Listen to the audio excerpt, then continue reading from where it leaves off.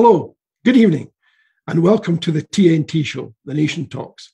I'm John Drummond, and I'm your host for the next 60 minutes. You know, it's been another great day for British democracy. We hear that the Prime Minister seems so terribly frightened of the First Minister, uh, he doesn't want to meet with her, uh, despite, that is, signalling to the whole world ahead of time that he wants all parts of the UK to work together. It's an odd way to work together, to turn down the invitation to meet. But maybe he wants to work together on Zoom. Maybe that's what he meant. Let's give him the benefit of the doubt there. Thanks for joining us this evening. Uh, tonight we are talking to Julie Hepburn. Now, Julie is, a well known SNP activist, uh, but we'll be talking to her about her experience on the Social Justice and Fairness Commission uh, and her take on what's happening in Scotland and, so much more besides. And she will be taking your questions live. Details on how to submit your questions are on the What's On guide at what'songuide.scot. Any questions, queries, comments, file them there. They'll get through to us. Our producer takes them and sends them on. Uh, and she'll be taking your questions live. So make sure you get your questions in if you don't mind. As you know, TNT stands for The Nation Talks. So, in many respects, this is your show. Uh, and we're live and we're free. So, no license, no problem.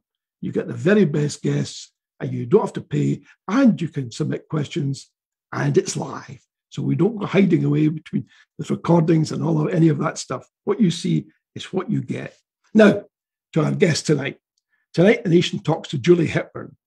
How are you, Julie? How are you and the family coping with the pandemic? Uh, well, we're getting through it. I think the same as pretty much everyone else, but you know, absolutely cannot complain.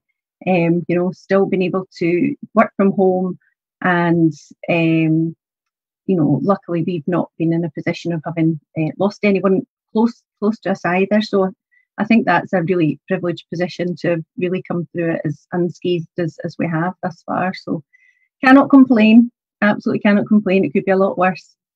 And do you find the schools have helped or hindered in that regard in keeping the family safe? Oh, I mean, I cannot um, fault my, my kids' school uh, at all. They were absolutely fantastic during the the lockdown periods and supporting the kids' education at home. Although it was an education uh, for me in in a number of respects, like a lot of uh, parents, I think they do things so much differently now to the, the way that we learned. So I was also doing quite a lot of googling um, as a as a parent as well to try and work out what their what their kind of techniques for for learning really are now because they're just just so different and all the terminology as well. I mean, we were taught a lot of these things at school, but we weren't taught what the terminology behind them necessarily was. So it, has been an education and um, trying to work from home while you know, caring for the kids and uh, supporting their learning and doing everything else on top of that was it was challenging. Yeah, yeah. Now you, I said at the beginning, you, are an SNP activist. You've actually stood for deputy leader, uh, and you've stood as a candidate. So I mean, you've covered a lot of the waterfront here, but but uh, and you're based in uh, in Cambuslang, but you that's not where you're from. You're from the borders, is that right?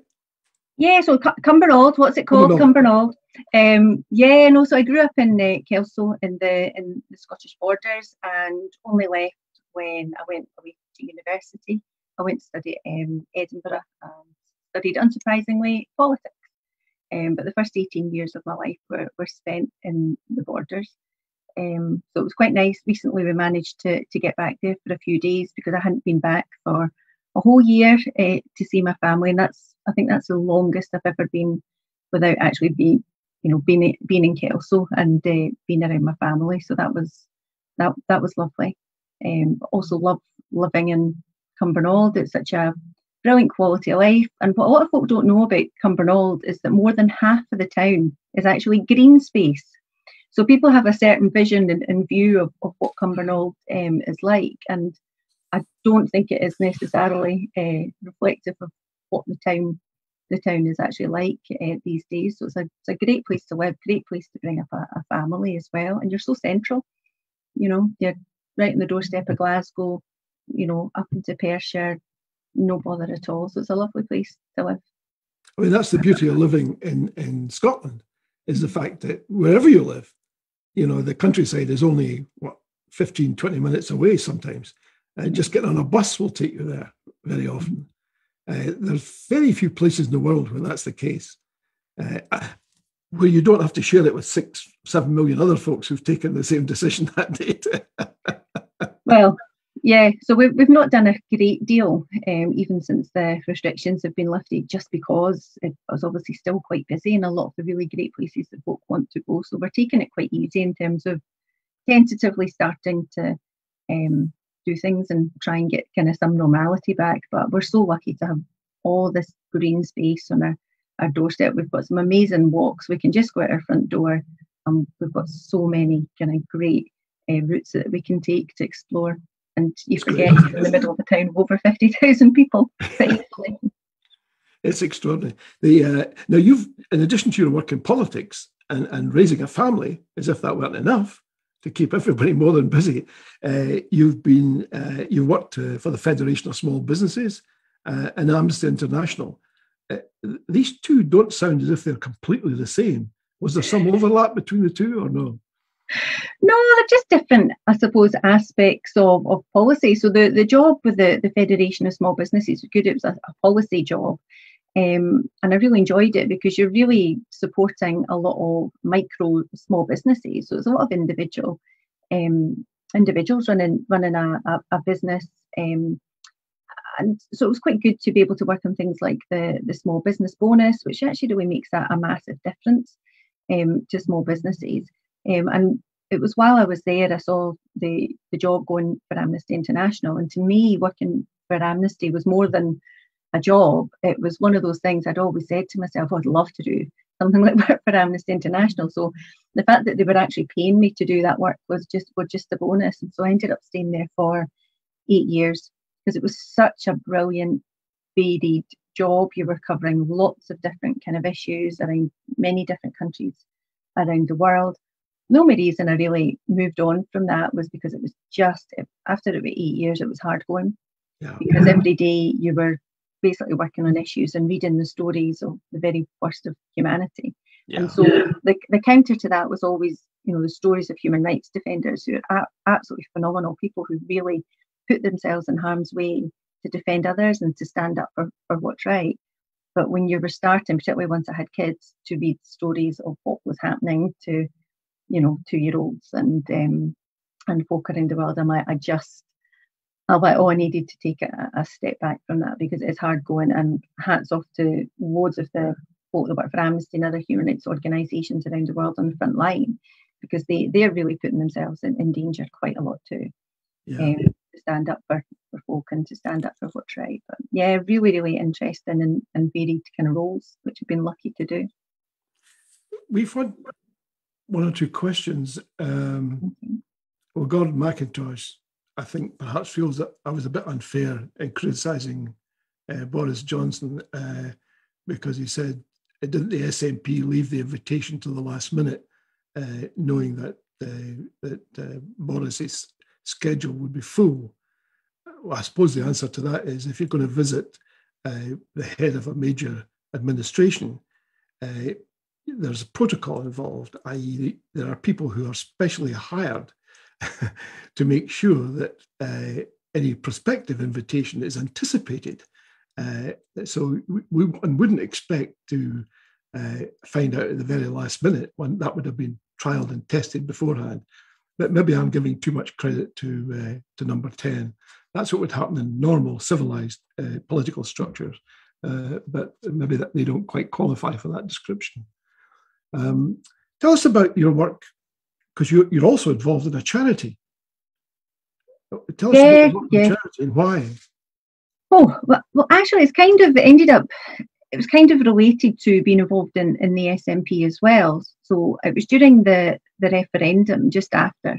I think so many of us had that that optimism, and I, and I genuinely thought um, in the final weeks of, of that campaign that we were going to do it um, and such levels of hope and optimism. And like a lot of people, it was, you know, it was a, a really devastating experience um, to lose because it just took away all of that hope, um, certainly in the, the short term.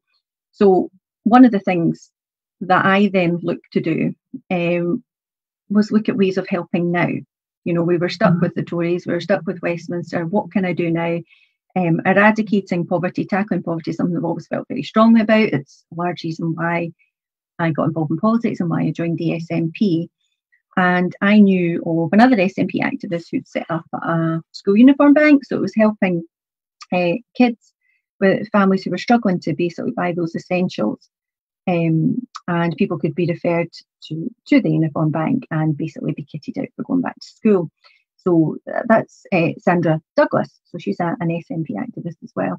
So I messaged her and said, I really want to set this up for, for Cumbernauld and Kilsyth, where, where I live. Um, and she said, Oh, I've had another woman from Cumbernauld message me about that. So she put us in touch and we randomly met for a coffee. Uh, decided we really liked each other. We both really agreed with what we were trying to do. Um, I'd read something about a baby bank being set up, so we decided to set up um, basically a, something to support families. So we do baby essentials, general clothing, and and school uniform. Uh, so that's what I've done with my spare time for the last five years. We've we've built it up. We've helped thousands, uh, thousands of kids.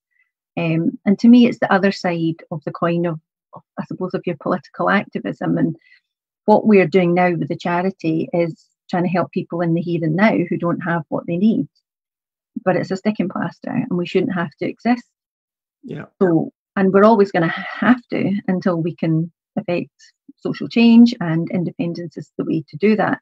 So I've had lots of, you know, conflicts and crises around how do you justify spending your time split between political activism and actual voluntary work on the ground that you can see is making a difference. I mean, the feedback that we get from uh, about families from the social workers, family nurses, and everyone else is, is phenomenal. It, it's just so lovely to know that you're making that difference to, to any kids. That's but good. we need to get the changes to stop poverty happening in the first place, and independence is is, is how you do that because it will give us the levers and the powers to do it. Is that why you were attracted to the Social Justice and Fairness Commission? Oh, I mean, absolutely. As, as soon as I was asked to, to get involved in that, I did not hesitate um, for a number of reasons because of the, the remit, um, the focus about it being about social justice um, and about tackling poverty. How, how do you do that? But the other reason was it was the fact it was it was an overview it was so comprehensive so it wasn't like go and develop this area of policy in isolation where you know ordinarily you will you will look at the context but your focus is on one thing you're looking at the whole structure of what we do and how we do it to really affect transformational change so the policy work within it um, it's really important. And to me, they're really good examples of what we could do and arguably what we should do um, rather than what we will do. But the, they are the four examples. This is what we could do with independence. And if we're able to change how we govern, change how we make decisions, that is going to be key. And independence is, is the foundation of that. It's once we have those powers, we can join the dots and really mm-hmm. affect the transformational change across all of the all of the challenges we face as a country, which you know most countries around the world face. So it's not unusual to face lots of challenges, and independence just allows us to, to get to grips with those in a coherent, comprehensive way, um, rather than dealing with policy issues in isolation. So it was a, you know, it was a really great opportunity to try and, and shape that and support that work and to work alongside some really great uh, folk as part of the process as well. well. Let's just talk a little bit about it's called the Social Justice and Fairness Commission. Why do you need fairness? I mean, I would imagine anything that was socially just would be fair. I think it's more. I think it's just more to describe what social justice is. So I suppose that social justice is fairness, but I think it's more to to demonstrate that that's essentially what social justice is is about. Um, I think most people understand and comprehend and will use fairness in their everyday lives in a way that they probably won't use social justice. It's probably more of a political or a, a policy term. So I think it's about reflecting, just reflecting the sort of different use of, of language um, and making sure it's as inclusive as possible. Yeah, the, st- the strapline says um, a route map to a fair, independent Scotland. Mm-hmm. I mean, I mean, it's almost like motherhood and apple pie. Who's going to disagree with you on that? Yeah, yeah. But that, but that's it, you know, it's so easy to say it. So easy to say, I believe in social justice, I believe in fairness, and I believe in equality. But the, the really difficult thing is is looking at how well how do you deliver that and defining what fairness is. Um, you know, it's a really interesting word and concept because when you ask people to define what is fair, you'll get lots of varying responses, but it's, it's actually easier to get a response as to what's unfair. We all instinctively know when we see something that is unfair. Um, so I think the report does a quite good job of setting out what we would consider to be that fair and socially just society. Um, you know, predicated on a well-being economy and compassion of of running the country for people and also with people. Um, you know, about government not just being something up there that that does things to people and that people that's what people regard it as. So that's when you start to, you know, generate apathy. So you can understand why people are apathetic and um, cynical uh, about politics. But the more that you can empower and involve people in the decision making process, not only is that you know that's healthy for your democracy, but you get better policy as a result if you're making policy for people without involving the people it affects in the process, it's just not going to be as good. And by the time it's actually implemented at ground level, it's maybe not as effective as it could be. So that's why I think things like, you know, the way the Scottish Government designed Social Security Scotland was actually a really brilliant step in, in the right direction because it involved people with lived experience of the system. And it was down to things like the colours of the envelopes that the decisions came in. So people were saying they were quite traumatised by getting these DWP envelopes and the brown envelopes and the kind of stress that created. So, you know, they come in a different colour envelope. So it's, it's things like that you would never have known unless you actually spoke to people about it and about putting people at the centre of it, their their dignity and actually their right to a decent standard of, of living. Um, so, so human rights that, that makes so much sense. Uh, and, and I've read the report uh, and the Commission's report, which I think was published in March this year. If anybody watching tonight and listening tonight wants to get a copy of this, I take it they can just go to the, is it the SNP website? Will it be available there or will it is it? It is. It is on the the SNP website, but it's also on the Commission's website. So, um, it's on the Social Justice and, and Fairness Commission. So, if folk could just put in a search for that, it will it will come up, and it's under the publications. And there's two documents. So there's the full report, which is over 130 pages, and then there's the executive summary, which is a good introduction to to what the report is is about. And for those that want more of the policy detail, they can read the, the full report as well. But it's, it's you know it's written in a very accessible um, way. It's designed to be a yeah, document yeah. that can inform debate that anyone can dip into and take out relevant information to help make the case for independence and yeah. what kind of Scotland we, that could be with independence. Yeah, I mean it does it does say on page three, social justice is not a luxury, uh, we should aim for when times are good. Uh, when times are hard, it's even more important uh, than ever to ensure that society is fair and just for everyone who lives here. Mm. I mean, that's a huge ask. Uh, mm. I mean, for example, you know, if you look at how to pay for programs like this, I can imagine people on the right, uh, maybe more than people on the right, saying, "Well, I mean, how how could you every time you raise my taxes, I think that's unfair. and so therefore they would say you haven't met your first criteria, which is to be fair and just for everyone, because I don't want to pay tax. Uh, if, and you're asking me to, maybe to pay more tax. I think that's unfair and unjust. How would you respond to that? Well, it depends, I suppose, on your your viewpoint, both political and and moral, and as a as a citizen, it's like, mm. well, do you believe in collectivism and do you believe in society or not? Um, and it's the fact that it's a you know, if you lift people out of poverty, you lift your whole society. So even if some people, you know, from their own personal point of view, don't don't want to pay more tax. Actually, you can by investing in dealing with some of these challenges and lifting people out of poverty, you actually are still investing in something that you get something back out of. Yeah.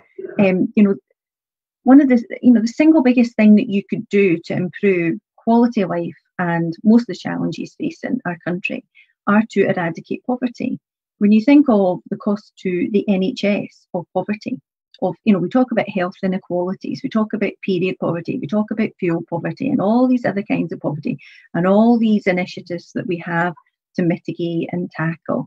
They're all just poverty and the fact that people do not have enough to live on. But if you can eradicate poverty and actually then reduce and start to eradicate a lot of health issues related to poverty, yeah. in terms of attainment, you know, the, the reason that there's such unequal attainment is largely due to, to poverty. Uh, and so if, if you can start to invest in the well-being yeah. of us all society, actually you start to reduce the challenges and you save money in, in other areas. So it's almost like a short-term investment to get a better society in the longer term. And some things aren't always about spending more money, but doing things differently. Yeah, I think that makes sense. And, that, and I think a lot of people watching and listening tonight would applaud what you've just said.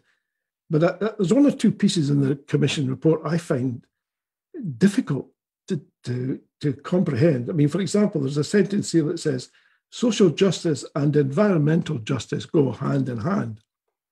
Well, I, live quite close to a major petrochemical plant, and they're constantly being accused of polluting the environment. And one of their answers is look at the jobs we provide. Mm-hmm. That's true. They do provide jobs, there's no question about that. Uh, could these jobs be provided elsewhere? Almost certainly, but it wouldn't happen overnight. So there would be a case where social justice and environmental justice probably don't go hand in hand.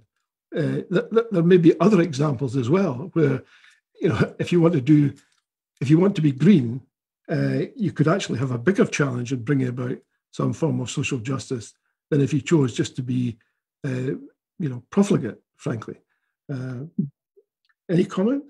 Yeah, this is a personal view, but I think it's about how it's it's about it in the broader terms. So you know, if you look at it from individual points of view or individual cases, it is a there is quite often a direct conflict. I mean, it's it's the same when you look at human rights, you know, and in protecting the rights of one group, actually you're compromising the rights of another in, in, inadvertently. So it's it's about a framework.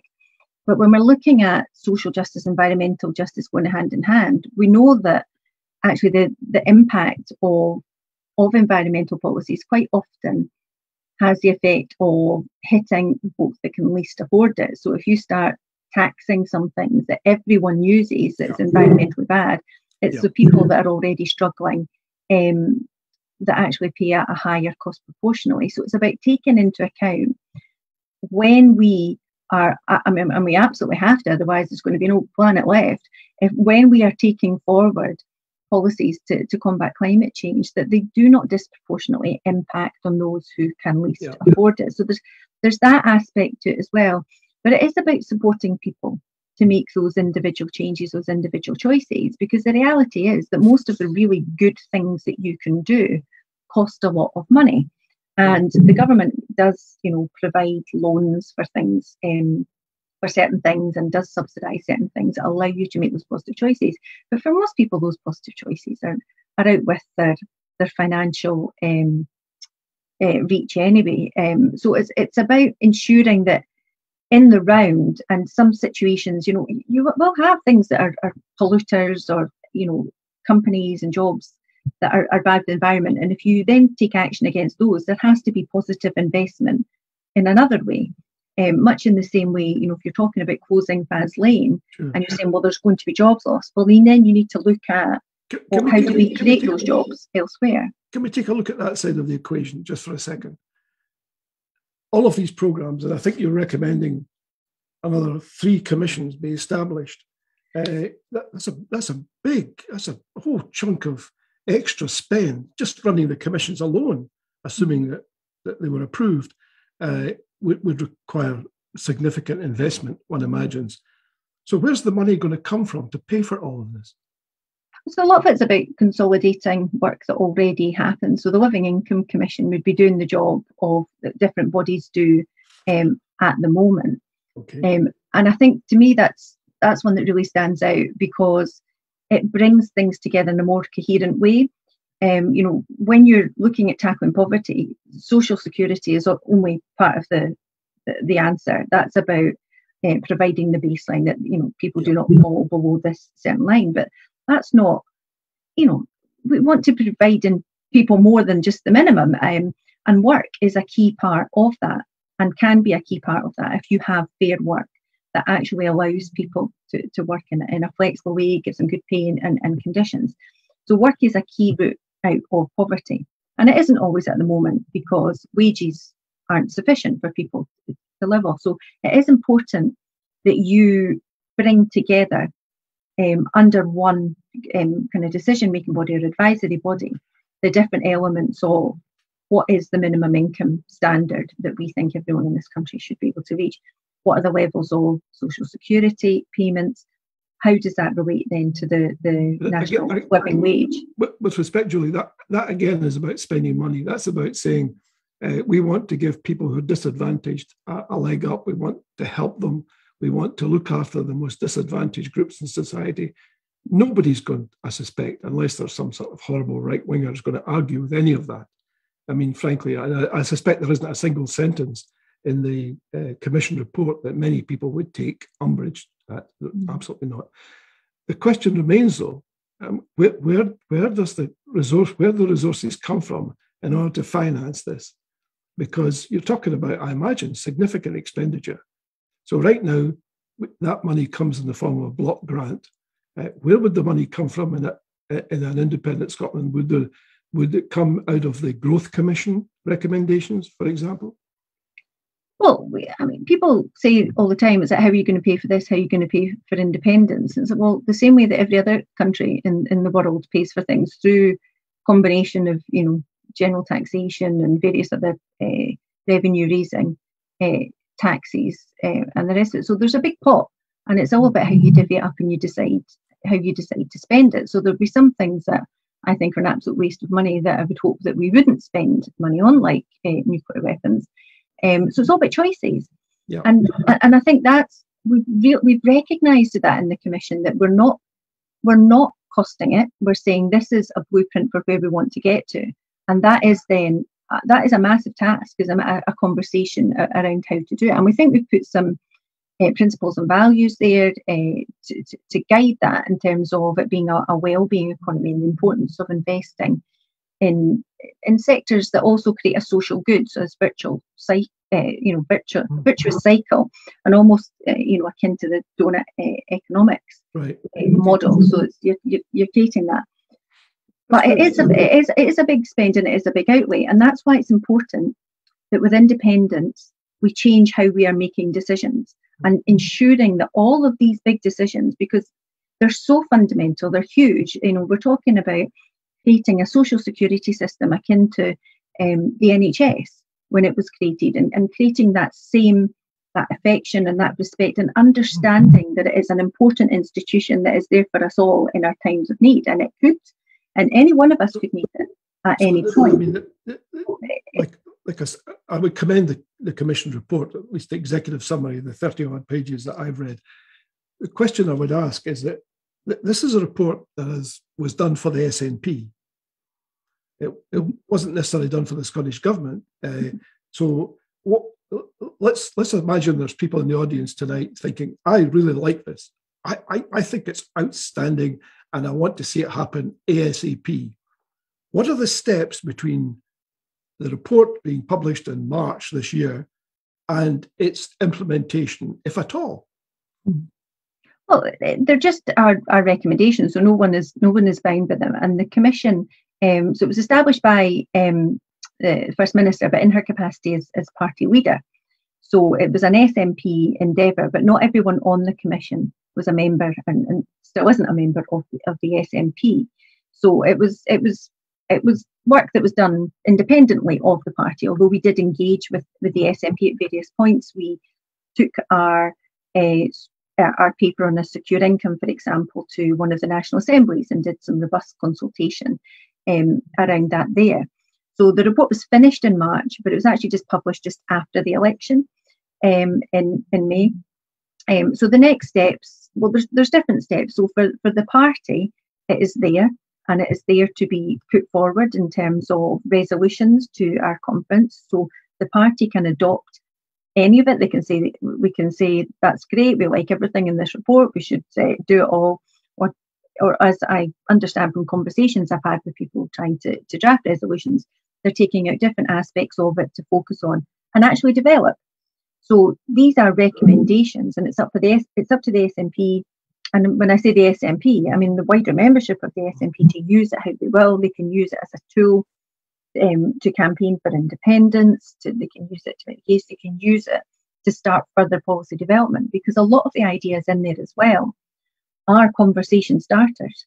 You know, we, we've mentioned things like the 20 minute neighbourhood, things like intergenerational care, you know, providing care homes and um, nurseries within the same setting and having that intergenerational contact.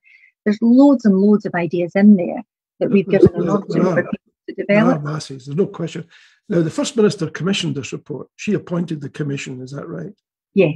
What's her reaction been to its publication?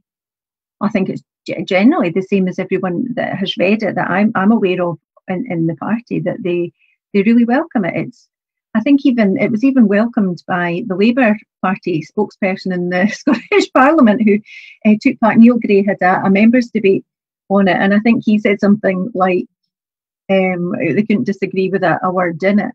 Um, it was just about delivery. So I mean, it's it's a good it's a good, comprehensive, solid piece of work, but in of itself, it's not the final word. Word. It is a conversation starter. It is something that we think is a good foundation to develop further policy and to to have a lot of debates around. Because you know, let's, let's, let's, thank you for that. Let's take a few questions, if we if we may. Uh, Mike Fenwick is asking, and I think you may have alluded to this, if not completely answered it, but let me ask you the question anyway. How are the cha- how are changes to be delivered through central government, local authorities, social enterprise, charities, top down or bottom up? What do you recommend? Well, I think, yeah, so yeah, so that one of the, the, the really important recommendations in, in the Commission's report is a, a, reform of, of our local democracy and ensuring that when we have independence, powers are then devolved to the to the most appropriate level and that power should be situated as close as possible to the communities and the, the people uh, that are affected by them. Um, so we really need a massive uh, shake up in terms of how local government works and ensuring that communities actually have not just a, a say in terms of consultation, but actually more power over how resources are spent in their community. So, for example, where, where I live, if there was a choice about how much you spend on a skate park or a, you know, a, a wildlife garden, why on earth should that be decided when I live in Cumbernauld in, in Motherwell? Why can our community here not decide how those resources are, are being spent? And about much more participation, we'd like to see much greater use of citizens' assemblies, collaborative um, decision making, co-production. It should all be about, and to you know, to me, independence isn't just about the transfer of powers from London to Edinburgh. It is about the transfer of powers from London to the people of Scotland. And that does mean much greater empowerment of each of us as citizens to have a say in how things are done.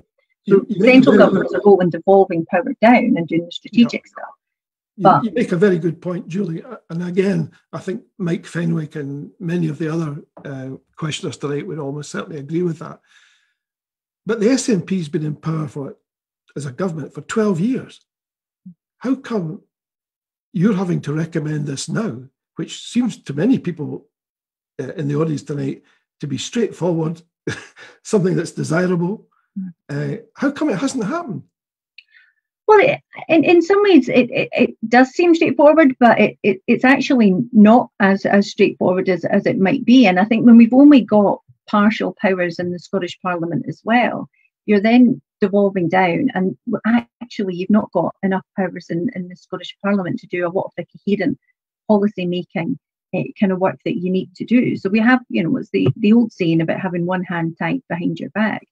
So yeah, there, has been, there has been change in local government. There's much more involvement, like participatory uh, uh, budgeting. There's, there is that sort of change in culture. Take the example you gave us, Julie, just so that I understand it better. What, what right now inhibits you from deciding about your local play area?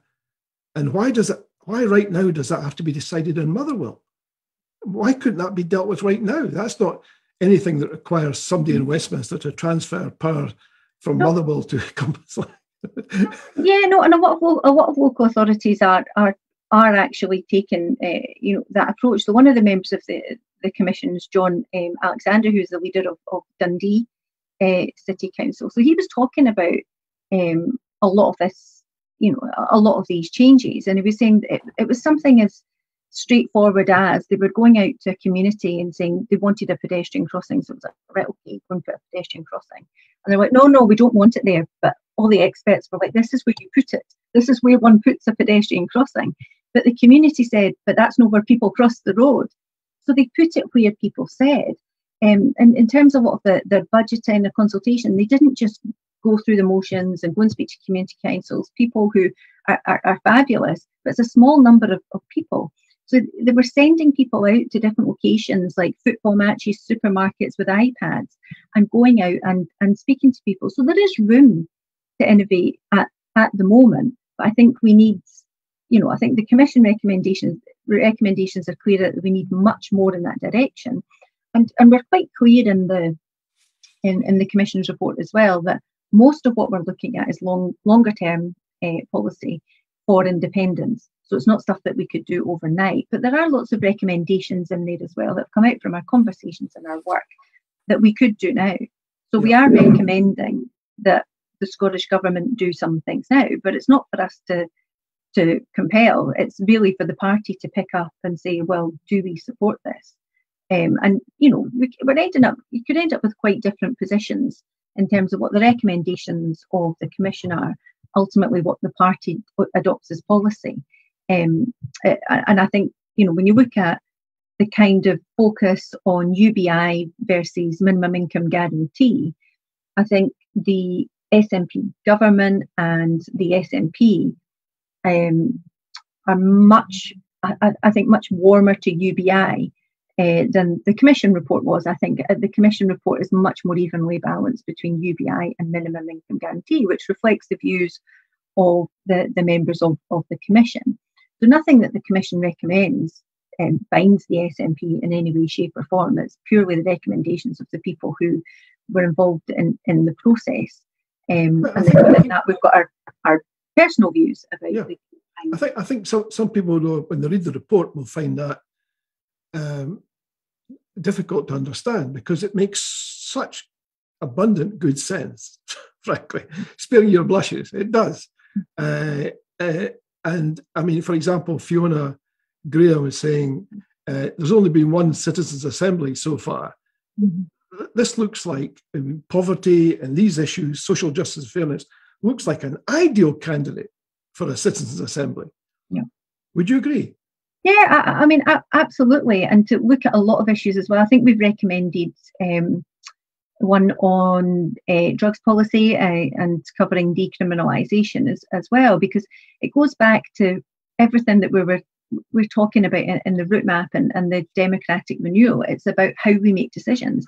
And we have to make decisions that are grounded in the actual real life lived experience of, of people in, in Scotland and making sure that they're robustly tested because government isn't easy government is just a series of really difficult choices you know. Nothing is nothing is straightforward. If you do one thing you're not doing something else. If you're emphasizing something then you're not doing other things. And even if you've got lots of people working across lots of different areas of government it's still choices.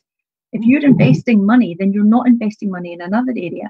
So this has to be when you're making these really important decisions about high level spending and what your strategy is and things like the eradication of poverty these can't just be the policies of one political party having a conversation with itself. It has to be grounded in what people in Scotland think, the citizens, but also engaging with other political parties. I mean, this is part of the the issue that we have. It's about trying to create spaces where people can come in with different perspectives and debate things respectfully um, and robustly. And what, what I like about the Commission report as well is that we actually haven't held back from advocating for change, advocating changes that the Scottish government could enact in the short term um, at all. Um, we, we haven't limited ourselves in that way. And it's within the spirit of how the SNP does debate yeah. policy, develop policy. It's through robust debate and the fact that people can just yeah. chuck in ideas and, and have yeah. them discussed. Oh, it's very it's very healthy. I mean, the whole idea of debate and discussion seems to lots of people to make lots of sense. But taking up that's a question we've had from Lars. He's saying, mm. I now find the we don't have enough powers line very tiresome. Uh, what in reality could a Westminster government do if Scottish government just legislated and started to deliver on a policy deemed reserved? It's a fair point because most recently, in fact, in the papers this morning, uh, a, a, Scottish government minister is saying we're going to set up drug centres, mm-hmm. even though officially, formally, we ought not. And they've been told categorically, you ought not. Mm-hmm. And she's saying, we're going to do it anyway. Uh, I, I, and I think in that regard, she's responding to the needs, yeah. the clear needs that uh, has been demonstrated, coupled with the fact that there's pretty much a cross party consensus. Mm-hmm. uh, so you could argue she's pushing against an open door, but nonetheless, mm-hmm. she's actually departed from the, the old established uh, situation, which is if it's reserved, we can't do anything. So having broken that, that conformity, I imagine lots of people are going to say, hey, why don't you do it in other areas too? How would you yeah, feel about that? How would yeah, you feel well, about the Scottish Government legislating in reserved areas? Uh, in principle, you know, and, and particularly in this area, there isn't really a, an issue. There is a, there is an imperative to do it the, the, the challenge comes, you know, and when things need to be paid for. So, you know, we couldn't just legislate to put up pensions because then how do you physically go about um, actually delivering that? We do not have physical control over certain elements that would allow us to do it. But the idea that we don't we don't actually take any action when something is reserved, actually a huge chunk of what the Scottish government does is react to that and deal with mitigating the policies that are reserved. So, and, and that's become a, an expectation now. So that you know we're closing the post offices, right? Scottish government, we need a fund to help the post offices. Oh, we're introducing the bedroom tax, right? Scottish government, what are you going to do to that? So a huge amount of time and resource is actually spent within our devolved administration dealing with the rubbish that Westminster um, sends our way. So we are in effect dealing in, in, a, in a roundabout way with reserve policies because we are saying, well, we're not going to implement that. We're going to find a way to mitigate that. So they do quite often react in that way. They don't just say, oh, well, that's that's come in, we're not going to act and we're not going to do anything about that. Um, and I'm, you know, personally delighted that uh, Angela Constance has, has taken this view and it was something that we pushed for in the, the commission report um, you know, asking the Scottish Government to really push at the boundaries of what could be done um, within uh, devolution. Um, and that, of course, means pushing at the boundaries of where that sort of jurisdiction for decision making lies. So that's a really positive development. It's one of the it's one of the key issues that we focused on in the in the commission report, just because it is such a, a horrendous uh, health issue. But again, that goes back to you know where people say, "Oh well, we're tired of people saying, well, we can't do this or we can't do that because we've, we've not got independence. But to me, drug addiction is one of those key points. So we have lots of powers over certain aspects of dealing with addiction in terms of, of treatment. Um, but the how do you start to stem the tide of people who fall victim to addiction when we actually know that poverty is a huge driver of that, and we don't have all the powers to tackle poverty.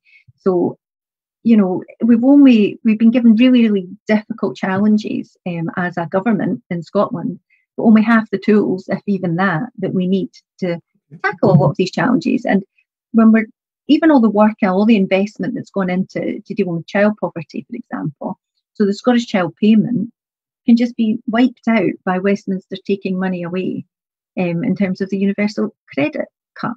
So all the work that we do to mitigate mitigate against the horrendous uh, policy decisions of, of a Westminster government, that that is all about challenging the, the reserved powers in, in my view. We don't just say, oh well, that's their responsibility and we're not going to do anything about that.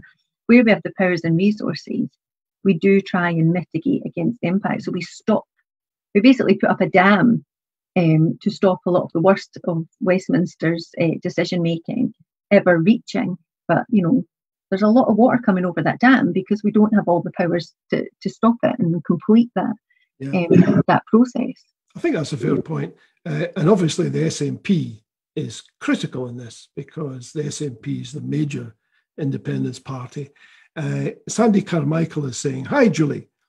What do you think of the draft list of conference motions? Does any one stand out to you as something you desperately want to see debated? I'm afraid I can't say because it's not an internal forum. So the um, provisional agenda of the for, for the party is actually confidential to to party members.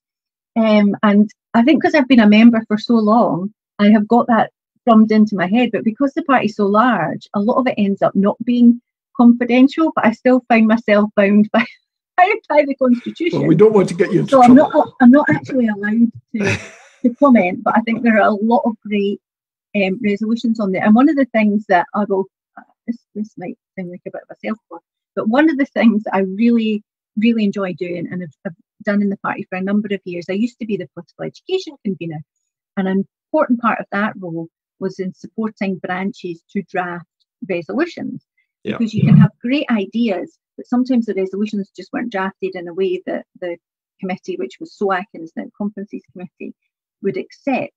So I've spent a, a, huge amount of time, and particularly in the last uh, few weeks, um, over the last few months, getting back to people and helping them draft their, the resolutions. So I'm actually really happy that a lot of those resolutions are, are on the agenda as well, because I know the hard work that people put into them and, you know, doing their research, getting advice uh, and just having those debated. So I'm, I'm delighted for everybody um, that I've been in contact with that the resolutions are on the agenda as well. Good. Well, we wouldn't want you to talk about anything that's uh, sub judice or confidential or any other matter.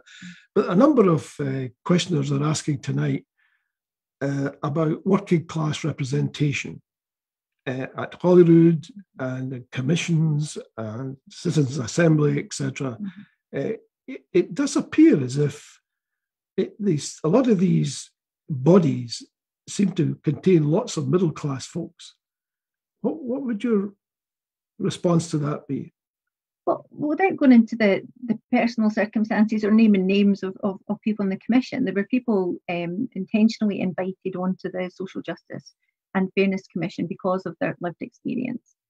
And that includes lived experience of poverty and in helping communities um, who are struggling with poverty as well. So we did have people on the, the Social Justice and, and Fairness Commission who came from that background, and we made sure that there was a, a diversity within the commission as well, making sure that we had representation um, from disability activists and um, BAME activists, um, uh, you know, people who are experts in gender equality um, as well. So the commission was actually very cognizant of that and the importance of empowering people to participate because it's and this goes back again to the recommendations of the commission if you just give people avenues to contribute and have their say certain people will take up that opportunity with relish but other people you have to go out reach out and grab them and i know from from my community work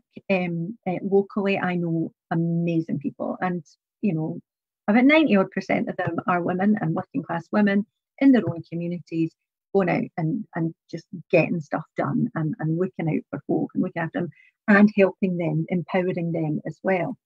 So a big part of what I did with the commission is I made sure that I spoke to all, all the people that I knew with lived, lived experience and practical experience of these kind of issues as well. But it is a it is a massive challenge because people are self-selecting, and it's much like politics. Um, You know, it's a really important thing that we need to remember because I think we're getting much better. Uh, we're still nowhere near where we need to be uh, in, in terms of ensuring diversity of candidates and, and activists um, across all, all the parties. But where we probably haven't paid enough attention, I think generally is in politics in Scotland, is looking at class and income, because it's also the thing that most people who are underrepresented have in common, whether it's you know disability or their gender or their race, it is income and it, it, it is class. And it's how do you break into it? And I know that um, you know when I first joined the SNP, I'm working class from from the borders. I didn't know a single person involved in politics. My my dad was uh, an ambulance driver. He was in the ambulance service for for 38 years, and so he ended up, you know, really supporting Labour because he was in a trade union. Um, and my mum had voted Lib Dem uh, because that's what happened. The borders isn't a die bean. Um, and there's a political consciousness um, really sort of came out because the the strange daughter that they had that would come home from school and talk to them about sovereignty and independence and the SNP, um, and they're you know SNP supporters. But it was it was a big deal for me to join. So I, I started supporting independence in 1994, and I'd written a I'd written a letter away to all the political parties for my standard grade history project. But it took me from that kind of light bulb moment in 1994 that independence is what we needed. It was just so obvious to me. It was about democracy, it was about sovereignty. It took me till the year 2000, January 2000, it was a New Year's resolution to have the confidence to join a political party because I didn't really think it was for folk like me. Um, and it was just an amazing experience when I joined because it was so welcoming, it was so inclusive, and identities didn't really matter because it was like, well, you're, you're one of us because you're a nationalist. Exactly. You know, um, it was really welcoming and inclusive. Doesn't that tell you a little bit about the educational culture that you didn't think that you were qualified? Because anyone watching this tonight is going to reach the conclusion, I can guarantee you, that they'll be saying, there's a smart, articulate person who clearly understands the subject. So, since you were always clever and smart and understood things, what was it about your education, do you think, that made you think otherwise? I don't think it was about my education. I had repeatedly had my teachers who, who were brilliant at school tell me before I went to university, just you, you remember, you're good enough you're particularly going to Edinburgh, they're like, you're going to meet people that, and you're going to think you're not good enough. And I remember, and believe it or not, for my first, for about my first year at university, because I was predominantly surrounded by people who were privately educated, a year older, and there were people in my, some of my classes driving in cars that would have put me through university twice. I barely opened my mouth because I felt um, quite intimidated because they sounded so clever and they were so confident in how they presented their opinions. But isn't that, that, doesn't that bear out my point though? Yeah. Is that individual students were encouraged, but despite that, you were given the impression that because of your accent, the way you spoke, uh, whether or not you were uh, wealthy or not, that that in some way disqualified you. I mean, the reality is that a lot of the kids who went to the, the, a different educational system were probably told that uh, they were as good as anyone and they should speak up at every available opportunity, hang the consequences, because the likelihood is that whatever they said would strike a chord with those listening. Mm-hmm. Well, that's why I, I, spend all my time now I'm saying to people, if you've got something to say, say it because there's nobody. And, and I suppose, although that first year was tough, it taught me a really valuable lesson. So if I didn't think I was any better than anyone else, because I'm, I'm not, why do I think anyone else is any better than me? Exactly. Well, they're not. We're all the same. So actually, although it was quite a challenging thing, it was actually really useful in life. And particularly when you find yourself in meetings with, you know, the first minister, and you're like, eh, I'm at Edinburgh University. There's no bother at all. But it does instill in you not an arrogance, not you know, not something. Well, I'm. I'm. It instills in you a really strong sense that we're all just the same. Um, and you know everybody is pretty much winging it through life. And that's not to say loads of people aren't experts and i'm absolutely in all of them. But we're all just people born into different circumstances doing our very best in life to try and be good people and get on with folk and, and have a nice nice life. But that that was important. I actually found although the first year it was debilitating after that i, I found it really liberating and empowering to know that actually, and it was quite good for then dealing subsequently with any Tories because I went to university with a lot of them and realised that a lot of them had not done uh, the work. They, they coasted through on the privilege um, that had been granted to them in the early years of, of their life. So it was really, really, it was a good lesson in, in the end. And I haven't shut up since, as good, you might have Good for you. And I, hope, and I would t- trust and hope you will never shut up. Uh, we've only got three or four minutes to go, Julie. Are there any messages you would like to give the folks watching and listening tonight? Any any area that you feel we it would have been helpful to have covered that we haven't touched upon? Anything that's personal to you, anything that you feel is crucially important? Uh, for me, I think it's how, how do we use this report and not just this report, but the work that is going on across the movement. So, for example, the, the Believe in Scotland work that Business for Scotland are doing, there's a huge amount of actually material um, that's been produced and a lot of work that's been done across the movement within the SNP and beyond to make the case for independence. But for me, what's really important, and it's something that we have to overcome, is when I first found out about Scotland's constitutional situation, I, it was a, it was literally a switch. You could almost see the light bulb and going on over my head. Now, it's so frustrating when you're an activist going out and trying to persuade people of the need for independence and they just don't have that same reaction in that moment. What we really, really need to focus on over the next wee while as we build towards the next referendum is putting ourselves in the shoes of people who are reluctant and who are sceptical and who do need that bit of reassurance and a bit of the case being made to them because they, those are the people that we need to reach to to make that decision and, and make that switch towards supporting yes. And I know through you know my my own networks of people that have switched from no to yes over the years, but they're not that easy to hang on to. We have we've got to keep earning that trust and and respect um, moving forward. But I am I am optimistic that we are nearly there.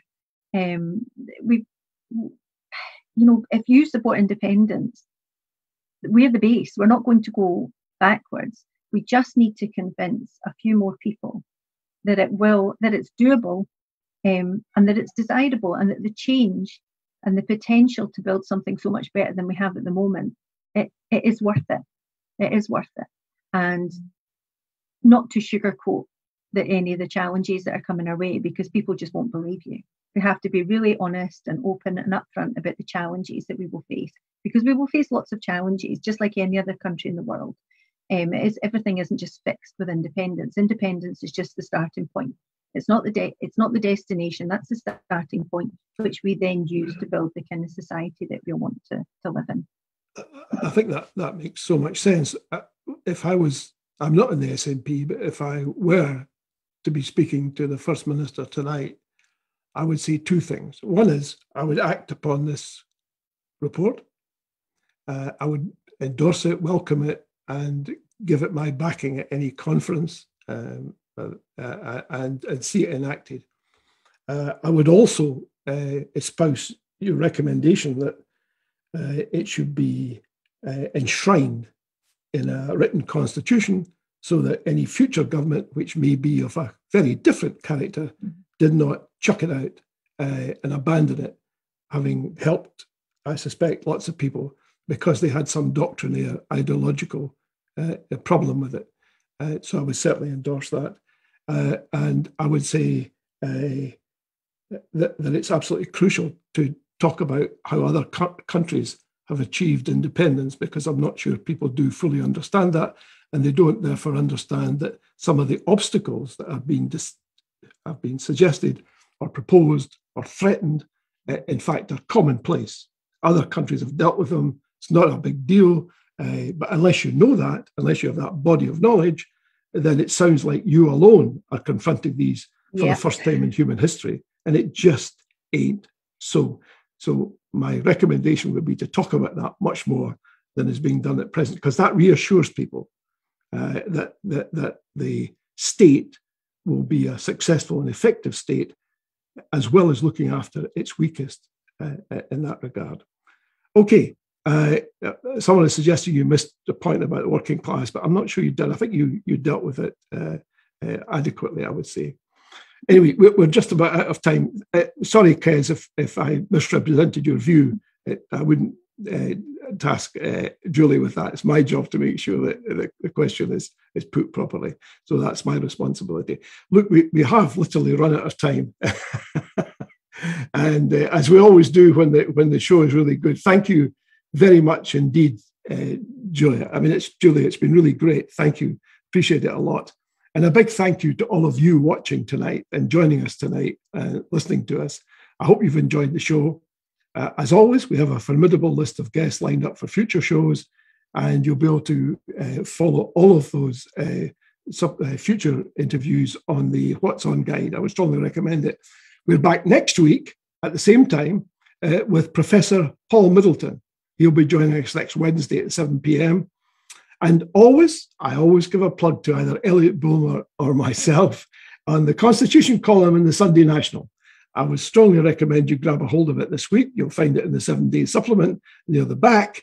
Uh, and I'll be dealing with uh, crookery and corruption um, uh, and the fact that uh, uh, the uh, Westminster government is seems to be totally unaware of the messages it's giving to the rest of the world uh, uh, because they seem to believe that nobody outside the UK reads the UK press. Uh, I, I, can tell you they do, and they're not hugely impressed.